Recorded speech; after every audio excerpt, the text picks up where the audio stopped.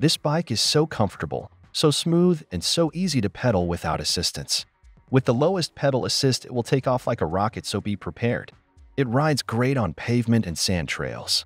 The gears shift smoothly, and I've found taking off in second is perfect for me. I'm 5 feet 2 inches, and my seat in the lowest position, and it is perfect. I love the color. Assemble was fine, and I have never assembled a bike before. I found a video on YouTube for the Schwinn Coston and just mentally adapted it to my Marshall. The quick release front wheel was a bit difficult, and I had to take a break then when I went back it snapped right into place. So I have no idea what I did wrong at first except I was tired at that point and just needed the break.